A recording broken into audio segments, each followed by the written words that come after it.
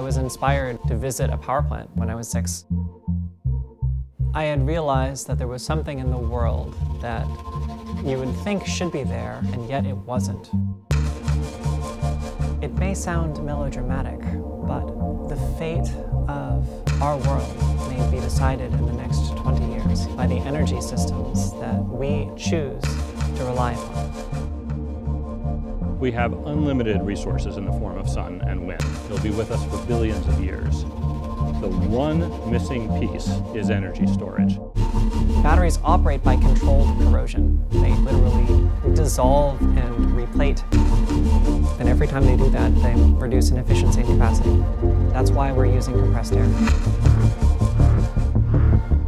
We built a machine that takes electricity, uses it to drive a piston to compress air at high pressure. When we want to recover that energy, that air runs backwards through the same machine to generate electricity. Effectively, we've built gigantic scuba tanks. One of these tanks can handle the electricity needs of a hospital, a supermarket, a warehouse, a factory, a college campus. When you do all of this,